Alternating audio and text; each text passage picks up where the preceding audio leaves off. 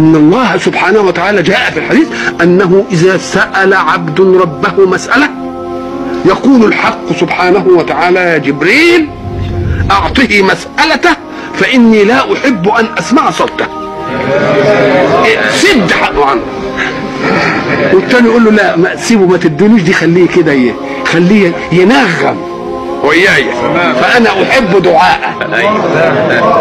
فأنا أحب دعاء لأن الإنسان مرتبط بمسائل وبيحبه. يوم ما دام ما جاتش يقول له آه يا رب آه يا رب يا رب دي بقى يطرب منها الحق. يطلب منها الحق. يقول إيه؟ من عبادي من أحب دعاءهم فأنا أبتليهم ليقولوا يا رب. برضه لما يقضي له لما يقضي له الحاجة بتاعته يمكن يسكت.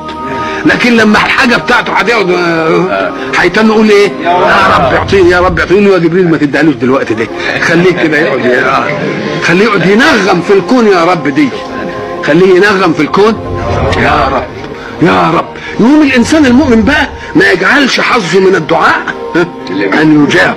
إنما حظه من الدعاء ما قاله الحق. كل ما يعبأ بكم إيه؟ ربي لولا دعاؤكم. إذا سألك عبادي عني فإني قريب. أجيب دعوة الداعي إذا دعاني. فليستجيبوا لي. وإذا ما دعاك ربك فاستجبت له. قنعت بما يجريه عليك دون ما تقترحه عليه كل حاجة تبقى حلوة. كل حاجة إيه؟